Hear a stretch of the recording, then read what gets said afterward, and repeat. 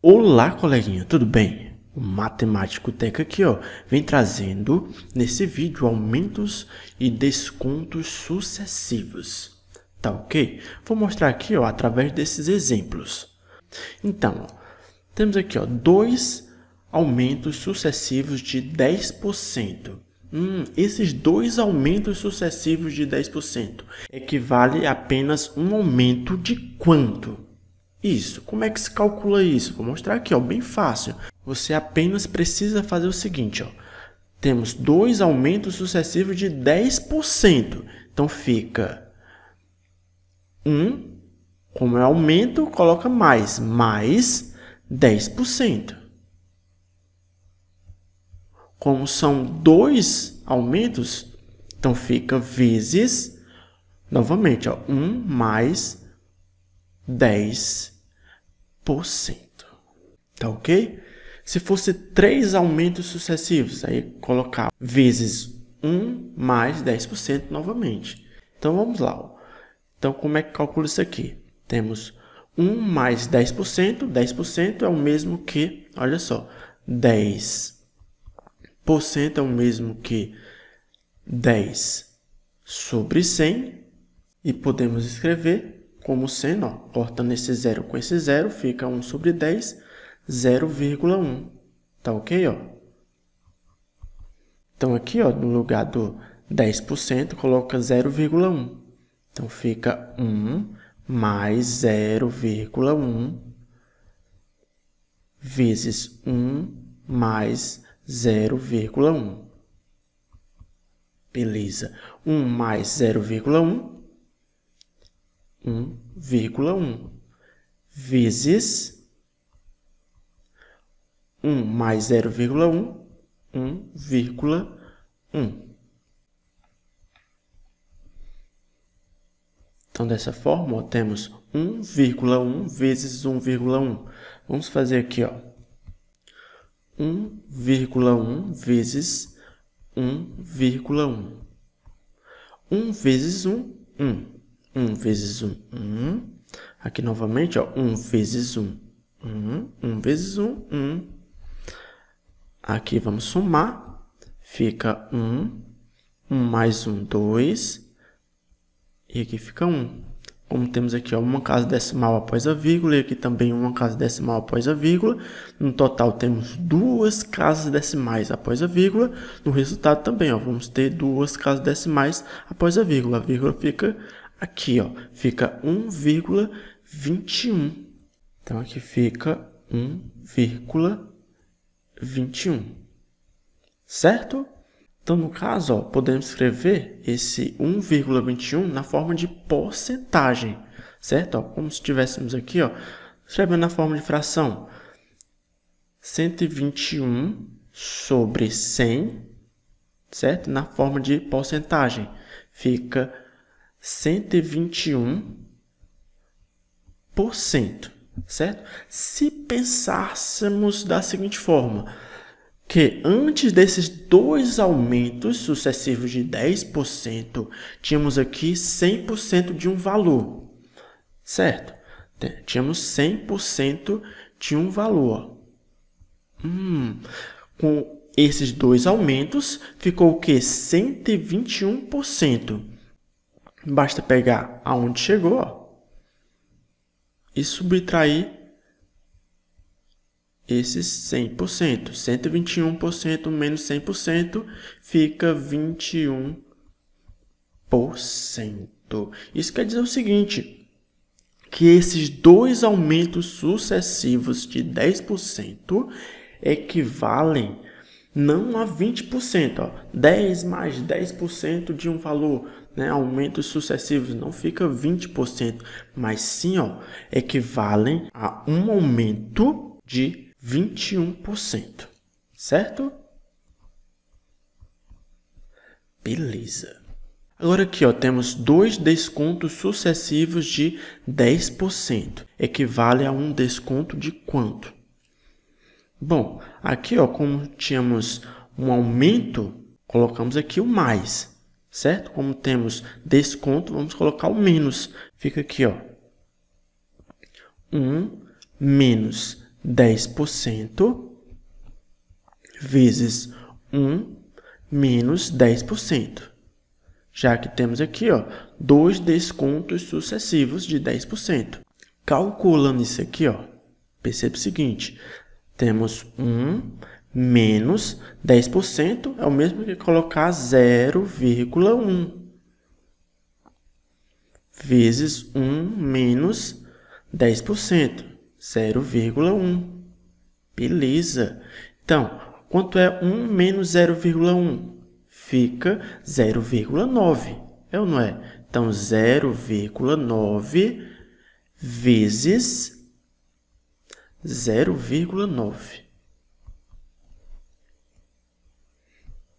Quanto é 0,9 vezes 0,9? Vamos fazer aqui embaixo, ó. 0,9 vezes 0,9. 9 vezes 9 é 81. Coloco 1 e vai 8 aqui para cima. 9 vezes 0, 0 mais 8, 8. 0 vezes 9, 0. 0 vezes 0, 0. Somando aqui, ó, fica 1. 8 mais 0, 8 e aqui fica zero. Então, temos aqui, ó, no total, duas casas decimais após a vírgula, então o resultado também ó, vai ficar com duas casas decimais após a vírgula, 0,81.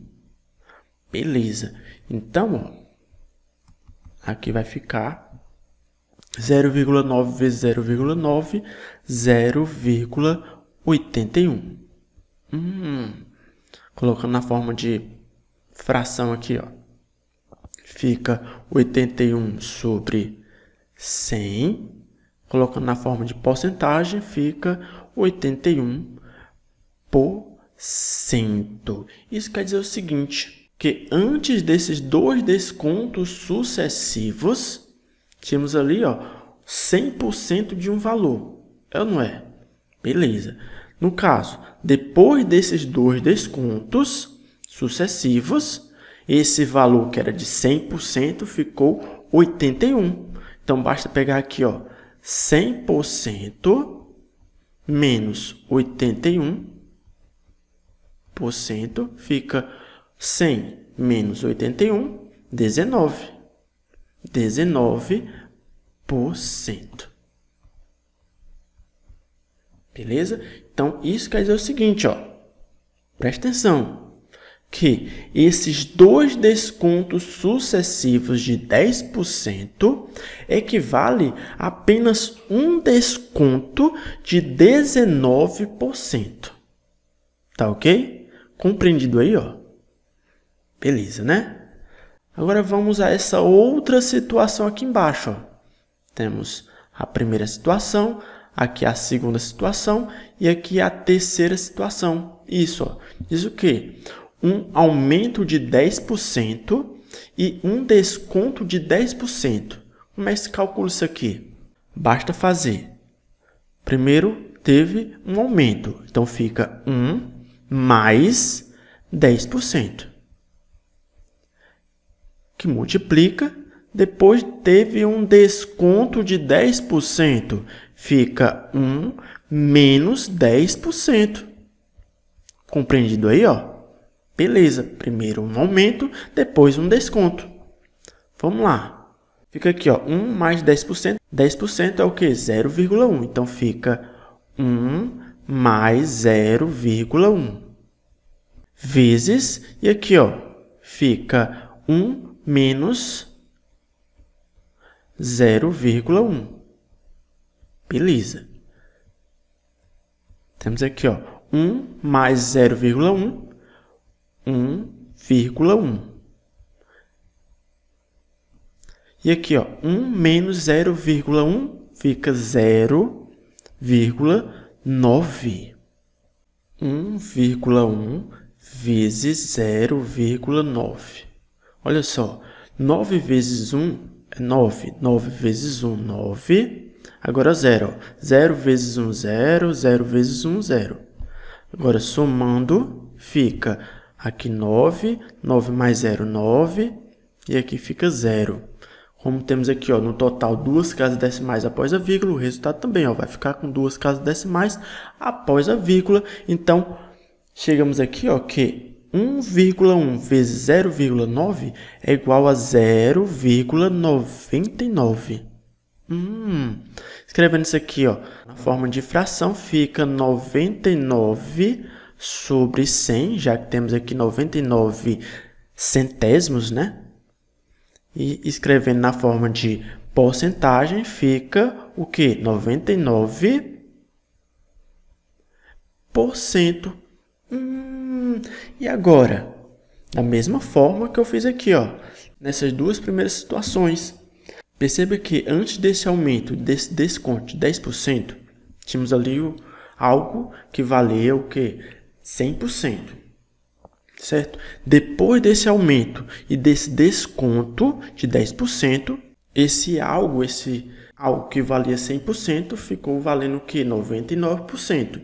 Então, basta pegar aqui, ó, 100% menos 99%. Hum, então, fica 100% menos 99%, 1%. Certo? Isso quer dizer o seguinte, que esse aumento e esse desconto de 10% corresponde a apenas um desconto de 1%. Por que 1%? Se esse algo valia 100%, ele valia 100%, depois desse aumento de desconto, ele vale o que? 99%. Então, teve um desconto aí, ó. Então, fica um desconto de 1%.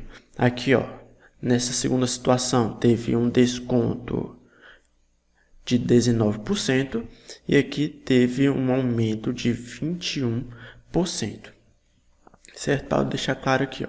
aqui teve um aumento de 21%, aqui teve um desconto único de 19% e aqui teve um desconto único de 1%. Vamos aqui a um exercício. Diz o seguinte: sobre o preço de certo produto foram ofertados dois descontos sucessivos de 4% e 5%, os quais correspondem a um desconto único de, temos aqui as alternativas. Então perceba o seguinte, teve o que? Dois descontos. Então fica 1 menos 4% vezes 1 menos 5%. Compreendido?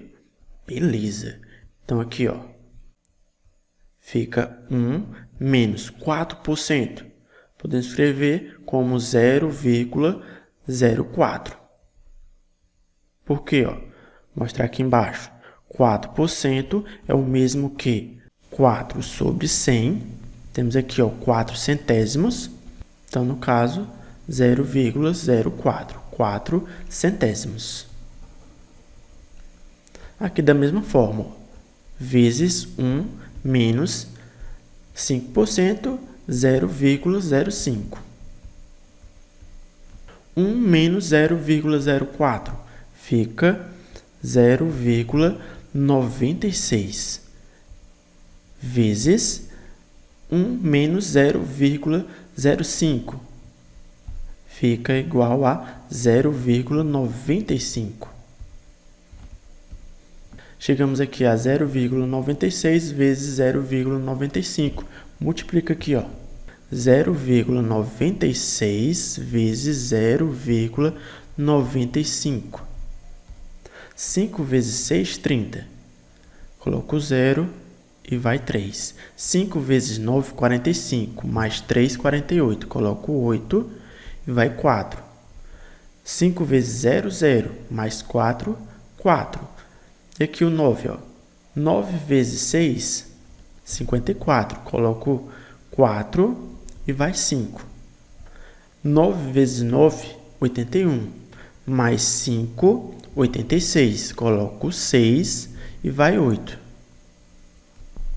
9 vezes 0, 0. Mais 8, 8. Agora o zero, ó, 0 vezes 6, 0. 0 vezes 9, 0. 0 vezes 0, 0. Aqui vamos somar. Ficamos 0.